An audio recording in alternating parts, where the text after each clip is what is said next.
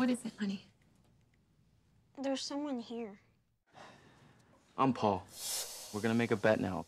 You bet that you'll be alive tomorrow at 9 o'clock, and we bet that you'll be dead.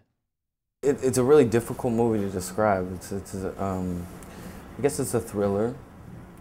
Um, it's uh, by Michael Haneke, Naomi Watts, Tim Roth are in it. You think they stand a chance? You're on their side, aren't you? Who are you betting on, hmm? You know, with, with Funny Games, I, th I think that there is comedy in it.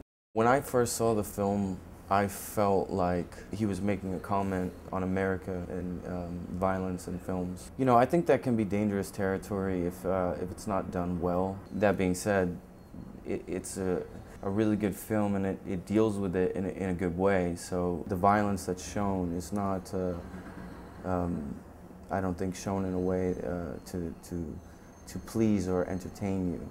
It, it's shown in a way to make you think. So I think it, it succeeds in that. Mr. Farber. What?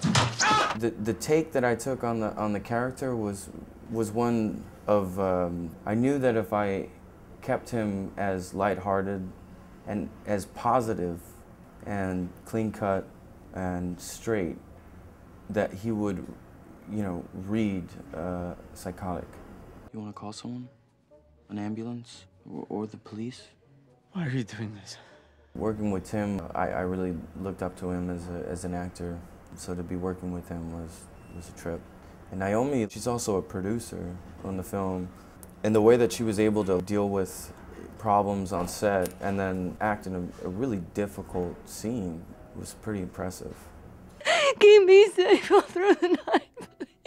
This film was actually great because it was, it was shot in, um, in the studios in Brooklyn.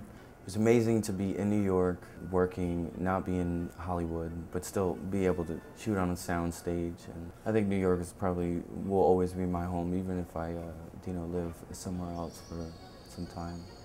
The biggest attraction, I think, to the, to the project was definitely Michael, uh, the director, because I wasn't considering working on a film at, at, at the time. But when I met him, I could tell that if, if I listened to him and I did what he asked, uh, that he'd make me a better actor. And working for him is pretty intense. He demands a lot more from his actors, I think, than the majority of directors, but that's also why people love working with him, you know. Um, Which do you prefer? The little knife or the big gun? What's the housewife's choice? I enjoy doing is taking risks, you know. It, it seems like it's just more interesting to make something you haven't seen a lot. And, you know, as an actor, I think you, you just got to take those when they come because they don't come that often.